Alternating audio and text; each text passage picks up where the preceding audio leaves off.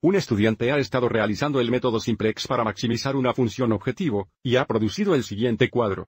Se nos pide que identifiquemos la columna pivote y la fila pivote, lo que, por supuesto, nos permitirá encontrar el pivote, que es la entrada que está tanto en la columna de pivote como en la fila de pivote. Luego se nos pide que realicemos la operación de pivote y registremos el resultado a continuación. Sin embargo, antes de identificar la columna pivote, observe cómo tenemos estas etiquetas en el extremo izquierdo, que son las variables asociadas con cada fila. Estas son las variables activas o básicas. Entonces nuestras variables básicas o activas son S sub 2, X sub 1 y P. Estas también serían las columnas que contienen solo 1 y ceros. Observe aquí, aquí y aquí.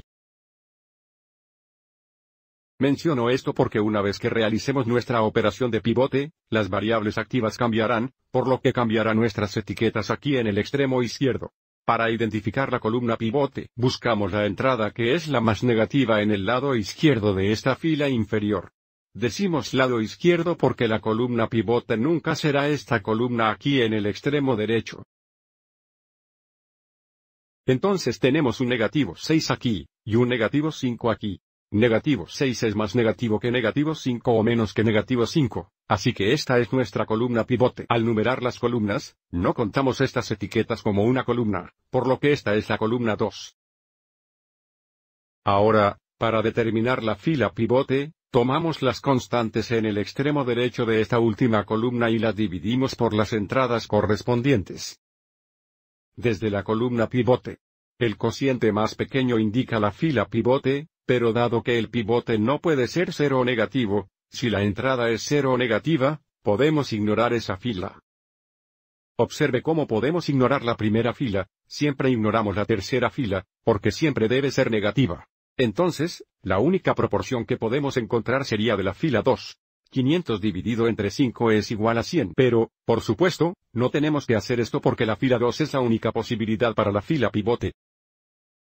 Pero quería mencionar eso porque si, por ejemplo,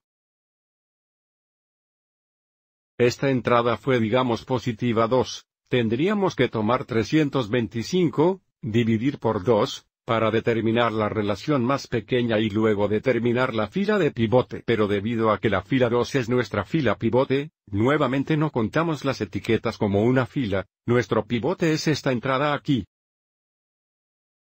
Ahora podemos realizar nuestra operación de pivote, lo que significa que queremos que esta entrada de 5 sea positiva, y que las entradas restantes en esta columna sean 0. Sin embargo, tenga en cuenta que una vez que hagamos esto, x sub 2 estará activo, lo que se llama la variable entrante.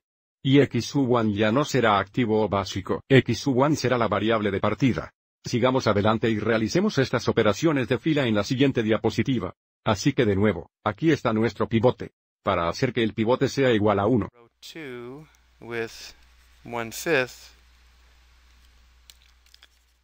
Reemplazaremos la fila 2 por 1 5 veces la fila 2. Mantendremos la fila 1 y la fila 3 iguales por ahora. Entonces 1 5 veces 1 es 1 5. 1 5 por 5 es 1.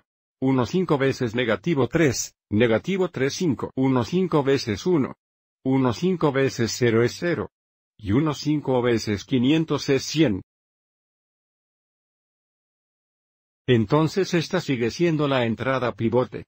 Y ahora queremos esta entrada y esta entrada, las entradas restantes en la columna dinámica, igual a cero. Para hacer esto para la fila 1, podemos reemplazar la fila 1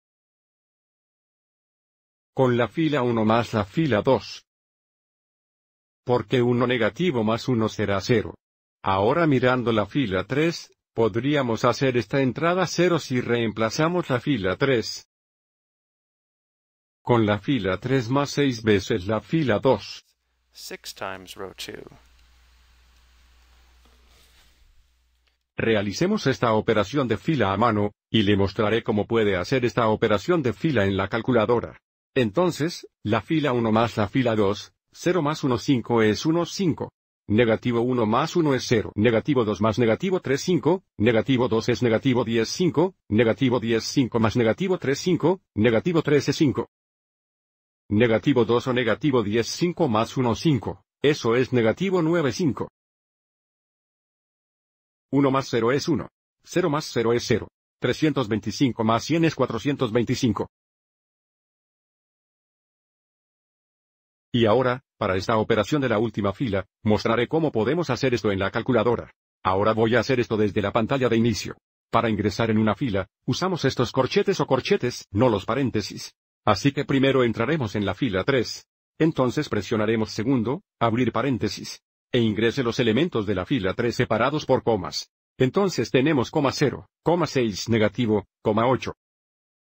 5 comas negativas, coma 0, una coma, 100.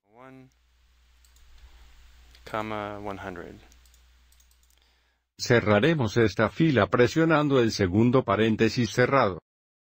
Y luego agregamos más 6 veces la fila 2. Entonces más 6 y luego entraremos en la fila 2.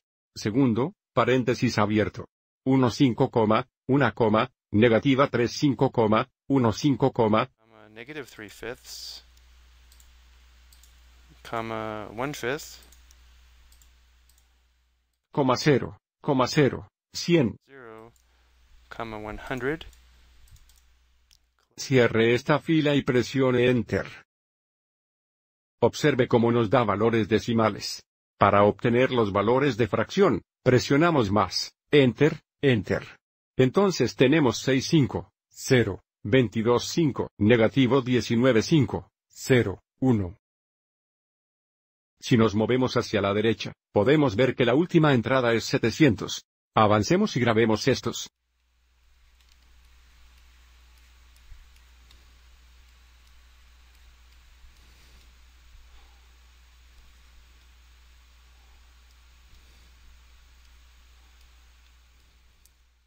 Ahora, como mencioné anteriormente, observe cómo X sub 2 ahora está activo, y el 1 está en la segunda fila, por lo que ahora la fila 2 está asociada con la variable X sub 2. Entonces, de nuevo, X sub 1 ya no está activo, lo que podemos ver aquí. X sub 2 ahora está activo y asociado con esta fila. Y en cuanto a nuestra tarea, solo estamos ingresando a esta matriz de 3 por 7. Espero que hayas encontrado esto útil.